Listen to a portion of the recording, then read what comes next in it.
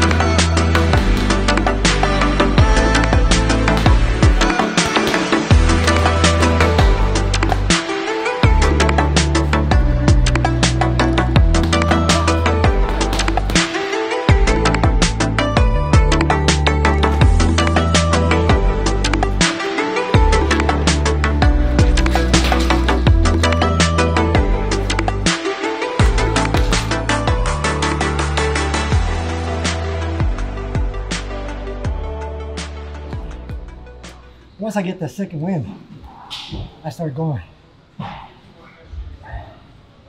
Make sure they don't text me back. Second wind, pimp. El Guapo has a full day scheduled ahead of him. He must tackle a day full of routine training, weight cutting, and of course, smiling for the cameras. So who gave you your name? When I was in Arkansas fighting, um, I was fighting. Um, you know, my parents weren't able to go down there and see, so it was another like little Mexican on the card, and his family was like Guapo, but they didn't know my name. And then when I won the fight, the announcer was like, you know, your family was chanting your name or Guapo, and I was like, well, that's not my name. And they're like, what does it mean? I was like, cancer one.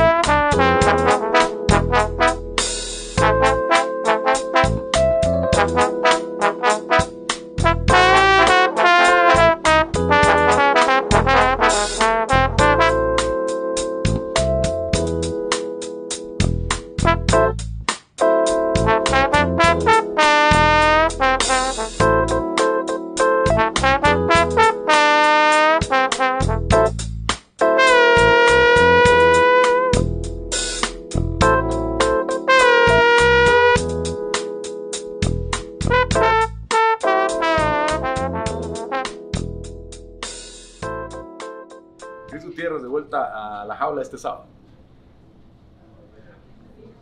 Muchas gracias. Sí, muchas gracias. Suerte. Sí, sí, muchas gracias. Sale una pelea.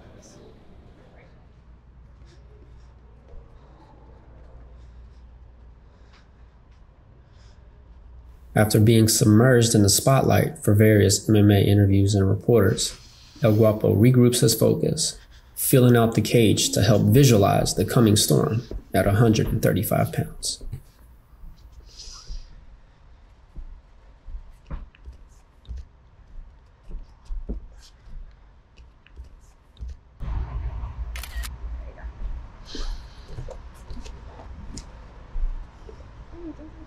Ooh, that's perfect.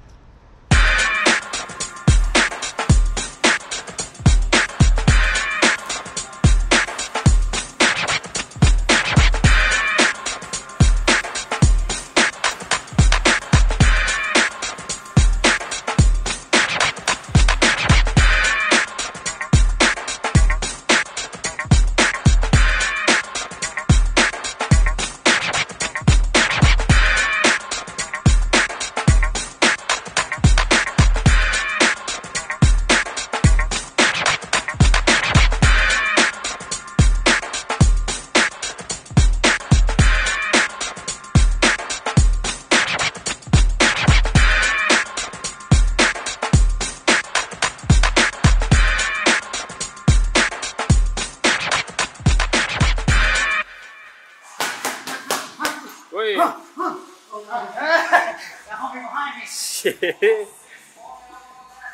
One minute.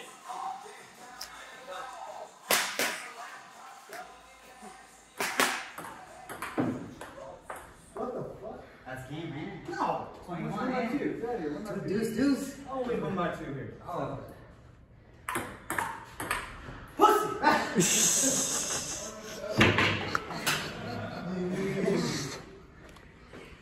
How you feel? Next time we go on. How you, how you feel about this victory? Oh man, I feel I feel blessed right now. I know once I see him on the mat though, he's about to choke me out. The week of the fight, fighters deal with constant pressure from not only preparing for their opponent, but also against their bodies. El Guapo uses the day to focus on the weight cut, relax his body, and to leave Mini Hunt and I to an evening inside the UFC Performance Institute.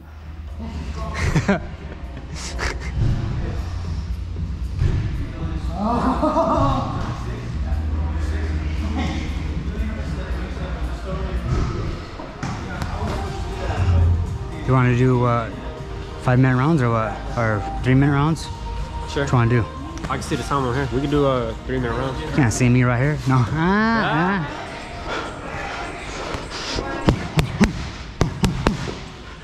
So now for that, I want you to measure now. Measure with your lead hand. And you measure at the chest. Two. We do a slow? Yep. Yeah, exactly, just like that. And get that angle too when you measure. Bam.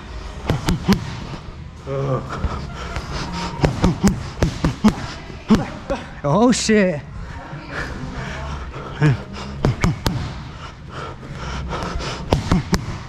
Double jab two after. Don't forget to get that angle.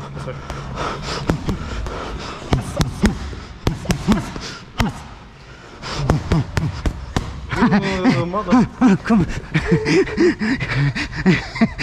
hold on, hold on. All right, cameraman. Coach, coach, coach, Hunt. get your mind right, and you can go places. And I, I, I think, you know, if it's one thing I would really like to share with people is just that the fact that like, man, man, chase your dreams, man. Let no one stand in the way of your dreams. That's that's my biggest thing, man. I've had people tell me I'm gonna be shit in life. Like and to a point I believed it, you know? To a point I believed it. But nah, I, I'm tired of letting people dictate who I am, you know? Absolutely. I'm here and I'm ready to show out. You know, I like I said, I've never been given anything in life. I've earned everything that I have. I've earned everything. You know, so uh, I'm gonna continue to do that. I'm never gonna change. And uh, you know, um, one of the quotes I, I live by is um, Inky Johnson said it the best. He was like, uh, "Never let any situation or circumstance ever define your life." And uh,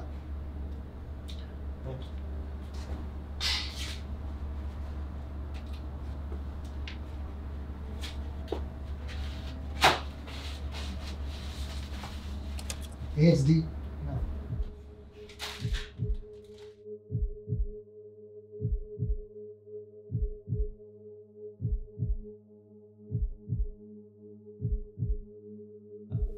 It's a sight to see, you know. Um, to have your brother in the UFC, you know, preparing to go put on a performance in front of thousands of people.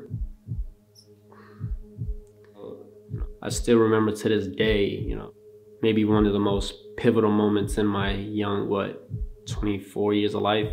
Uh, you know, I- I, still get ice in my veins thinking about it you know, as we're making our way to the cage. We hug, gives me a kiss on the cheek, and he uh, he says to me, "I'm going to war, bro."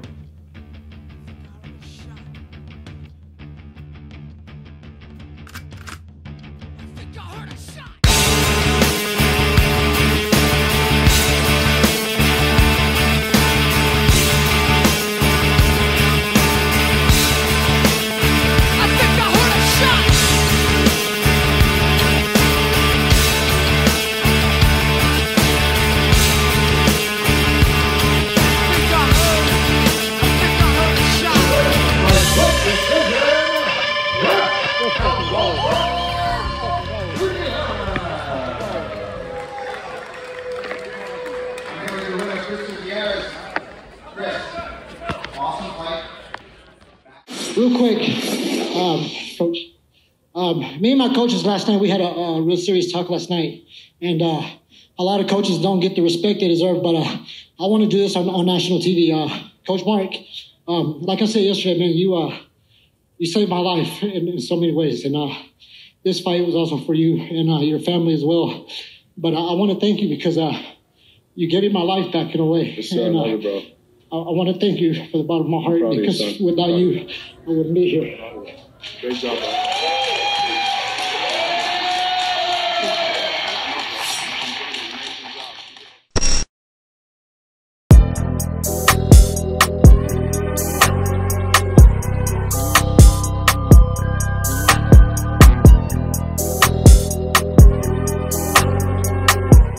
I have one final question for you, Mr. Driver.